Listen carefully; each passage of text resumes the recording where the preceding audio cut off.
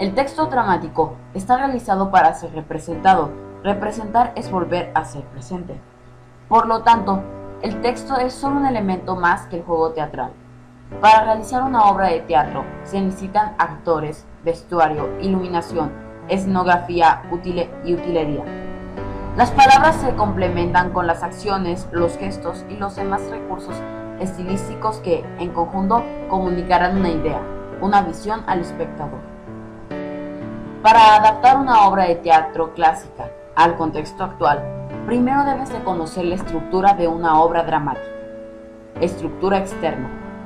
La obra dramática se compone de los diálogos, los que dicen los personajes, y de las acotaciones, indicaciones que hace el autor sobre la escenografía o las acciones específicas que realiza cada personaje. Generalmente, las acotaciones se escriben en cursiva y entre paréntesis. Estructura interna. Consiste en analizar las indicaciones y los diálogos para comprender los elementos de la obra de teatro. Atención, un análisis estructural no es lo mismo que una técnica de actuación. Puede ser un intelectual del teatro analizar y comprender la estructura de una obra, pero al ponerla en escena, la obra puede resultar un bodrio mal actuado y aburrido. Como son las acotaciones que sirven de guía para la escenografía de la obra, las coordenadas espaciotemporales que establecen la unidad del tiempo y el lugar en que sucede la obra. Generalmente las obras de teatro tienen pocos escenarios donde se desarrolla la historia y todo sucede en un corto periodo de tiempo. Y las convenciones teatrales en donde el espectador y el actor establecen un pacto de verisimilitud dramática. El diálogo. Elemento que merece una consideración especial pues a partir de los diálogos se puede identificar el conflicto de la obra y las características psicológicas del persona, de los personajes. Sin conflicto no hay obra de teatro y tampoco hay historias o novelas, pues las historias siempre cuentan con un problema al que se enfrentan un personaje. El problema, el personaje desea algo y siempre hay algo que se opone a que lo consiga. Surge un conflicto, un problema que debe resolver características psicológicas de los personajes de la obra de teatro. Las características de un personaje se pueden descubrir a través de cómo habla, qué dice, cómo viste y cómo se mueve.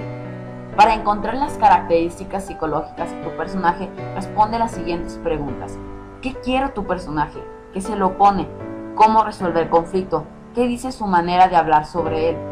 Un personaje de clase de clase social alta hablará con frases elaboradas y utilizará un lenguaje culto. En cambio, un personaje de la clase social baja se expresará como gente del pueblo. ¿Cuáles son las características físicas del personaje? ¿En qué contexto vive? ¿Cuáles son sus creencias y valores? Las características psicológicas de los personajes dependen del tiempo en el que se escribió la obra de teatro.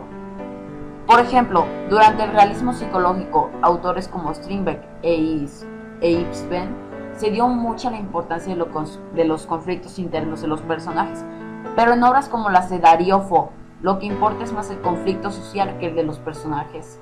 Adaptar una obra de teatro clásica al contexto actual significa adecuar los elementos para que se transmita un mensaje acorde al momento presente que está inmerso al público.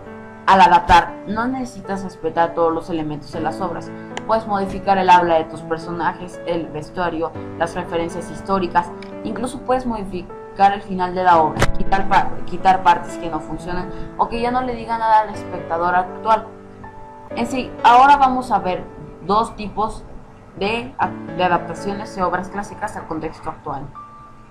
Romeo y Julieta. En la adaptación realizada de cine, realizada por Baz Luhrmann, se modifica la época. Las, familias Montesco y Capuleto son familias poderosas implicadas en el poder y los negocios sucios. Se cambian las espadas por pistolas, se cortan escenas de la obra original y se respetan los diálogos de Shakespeare. Ricardo III.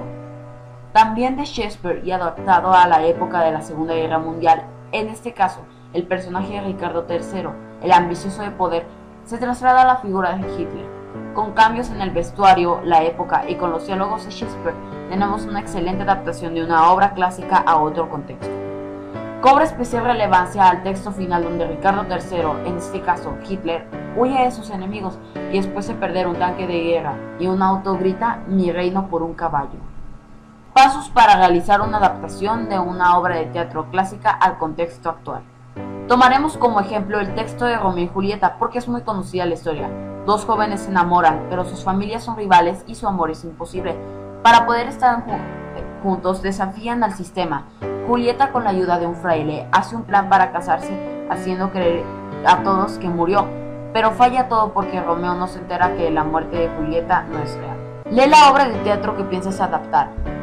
¿Cuántos personajes tiene? ¿Cuál es el conflicto principal? ¿Cuáles son los conflictos secundarios? Piensa en el conflicto principal. ¿Cuál sería la situación equivalente a la época actual? En el caso de Romeo y Julieta puede ser que las familias sean de partidos políticos diferentes, el hijo de la familia del PRI, la hija de la familia Morena, o que sean competidores en algún negocio. Haz una lista de los principales hechos para que puedas trasladarlos a situaciones actuales, por ejemplo en el caso de Romeo y Julieta. La fiesta donde se conocen Romeo y Julieta puede ser la, fiesta de los 15 años de Julieta o la fiesta de graduación de la preparatoria, porque ya nadie se casa tan joven como Julieta. Como ya no se usan espadas, la pelea entre Romeo y el primo de Julieta puede ser a puño limpio o con pistolas. En lugar de desterrar a Romeo, lo pueden mandar a estudiar o a vivir a otro país. En lugar de pedirle ayuda a un fraile religioso, Julieta puede recurrir a una amiga o a una maestra. En lugar de que falle el mensajero, Falla la tecnología y no hay manera de comunicarse con Romeo, pero él se entera de la muerte por las noticias de la televisión. Modifica los diálogos para que el lenguaje sea actual y acorde con el personaje. Eso es todo, espero que te haya gustado el video, dale a like y suscríbete, comenta con tus amigos para más videos como estos.